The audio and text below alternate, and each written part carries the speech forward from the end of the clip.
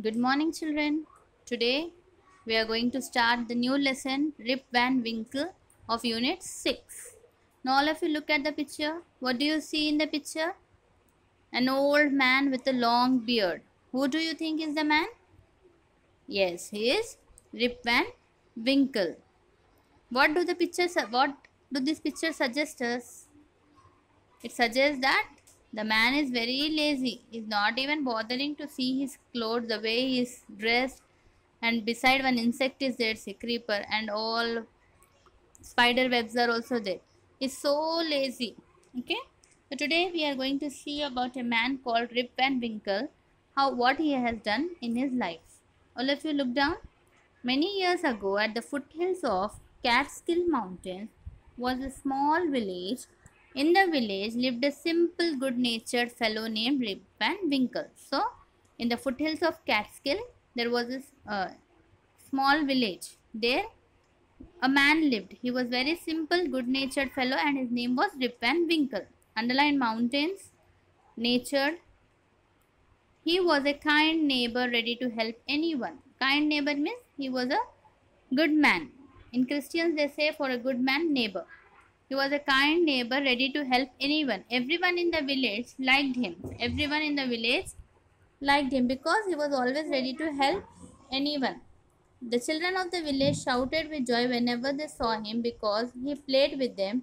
He taught them to fly kites and shoot marbles and told them long stories. So, whenever children used to see him, they used to shout, shout with happiness because he taught them to fly kites, shoot marbles, and long stories he used to tell.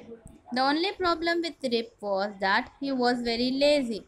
He did no work on his own farm. So, what was the problem with Rip Van Winkle children? He was very lazy. He did no work on his own farm and just idle away his time. His fences were falling to pieces. His cow was going astray. Weeds grew on his farm. Rip's constant companion was his dog named Wolf. So, what happened? Always he used to move around here and there. He did no work on the farm. Everywhere weeds grew. Weeds means grass like thing. The plants which are of no use. Those are weeds. Okay, it grows wherever it likes. In the rainy season, you see wherever plants comes out. Those are called as weeds. Fences were falling. All the pieces of wall were falling. His cows were going astray, out of the way. In a wrong direction they were going. But always he used to be with his dog named Wolf. What was the name of his dog? Wolf. Underline children. Astray, weeds, constant companion. To avoid work, he would walk away into the forest with his work. So, in order not to do any work, what he used to do, children? He used to take his dog along with him and walk in the forest. See, always his dog was with him. He doesn't want to do any work. He used to take his dog and he used to move away to the to any other places. So one day what did he do? He went away towards the forest. One day Rip just walked on and on and reached the highest part of the mountains. It was late in the afternoon when he reached there. Tired after his long climb, he lay down and began daydreaming. It was soon evening and he realized it would be night by the time he reached his village. So one day what happened? Rip and his dog, what happened? They just moved and moved and moved and they reached to the highest part of the mountain. It was late in the afternoon. Now he was very tired and he lay down and he started day, daydreaming. He started dreaming and soon it was evening and now he understood that it will be night by the time he reached the village. Suddenly what happened? See, he and his dog lay near the mountain, highest peak of the mountain they reached and he laid. Suddenly he heard some noise a man was calling, Rip Van Winkle, Rip Van Winkle. You can see here. A man was calling Rip Van Winkle, Rip Van Winkle. He heard a voice calling out, Rip Van Winkle, Rip Van Winkle. He looked around and saw a short old man with thick hair and a grizzled beard walking towards him with barrel. So a short man with a grizzled beard was there and he was with a barrel. He made signs to help him carry the barrel. So he was making signs to help him to carry the barrel. Barrel was heavy. Rip hurried to help the stranger who caught his hand tightly. Together they reached a place where there were some more old, odd looking short men playing nine pins. They were all dressed the same way and all of them had beards of various shapes and colors. Even though they were playing a game, their faces were serious and there was silence. The only sound was the noise of the balls which echoed in the mountains like thunder. As Rip and his companion reached them, they stopped playing and stared at Rip with a fixed gaze. Rip was really frightened. His companion emptied the contents of the barrel into the glasses and made Rip drink it. Rip obeyed as he was trembling with fear. Since he was thirsty, he drank a few more glasses and slowly fell into the deep sleep. So what so what happened children? He went along with that old man See, the old man is standing there. Along with him, he took the barrel and went, and there he saw the same short men with long beards of different kinds. He saw there. All of them were playing nine pins. Nine pins means these balls will be there, no? We'll keep balls and throw the. Uh, sorry, we keep the pins and throw the ball. If all the pins fall down, we win. You can see here in the picture. That game is called as nine pins. They were playing nine pins, but all of them were looking serious. No one was laughing or enjoying. Though they were playing game, all of them were looking serious. So now what happened? That old man gave him something in the from the barrel. He has given him something to drink. He drank as he has to obey. Both Wolf and he, uh, Rip Van Winkle was with them. He continuously drank so many glasses. After that, he fell asleep. He fell asleep. On waking up, he found that he was at the place where he had first met the old man.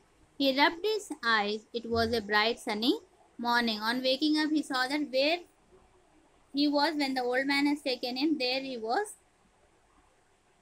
And same place he was. He rubbed his eye and he thought now he is seeing a bright sunny morning. So underline the words children. Come on first. Looked before paragraph where you haven't uh, grizzled third line grizzled g r i z z l e d grizzled next line tightly next line nine pins then from down one two three. Third line companion. Frightened. Trembling. What is the meaning of trembling? Shaking in fear. When you shake in shiver in fear it is called as trembling. Shivering is when you shake in cold. Thirsty. Waking up. Now he woke up and he is at the same place where he had first met the old man.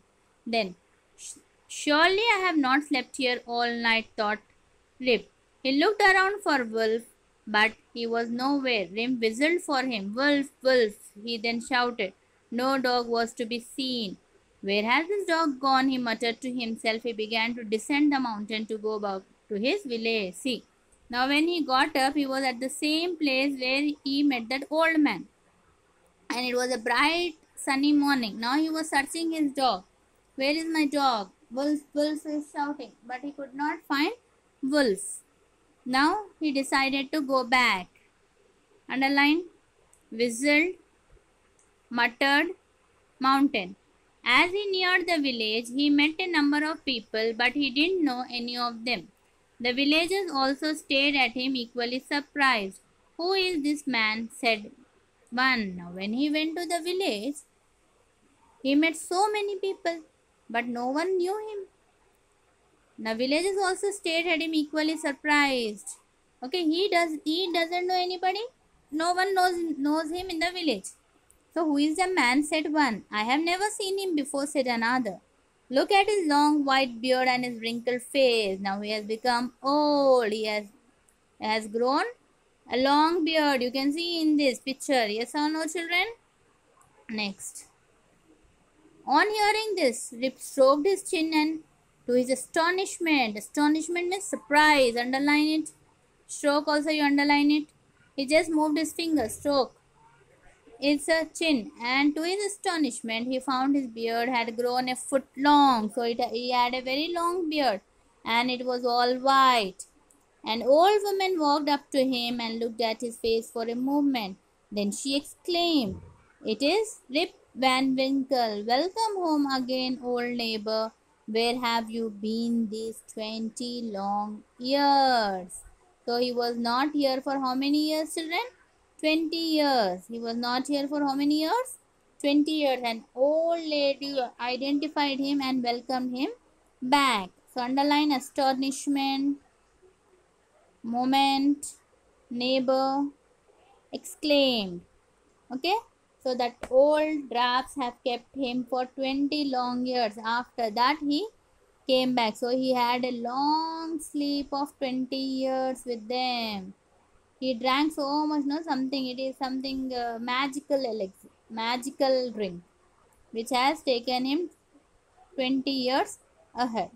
Okay, children, read the lesson thoroughly and write the hard words given. Thank you.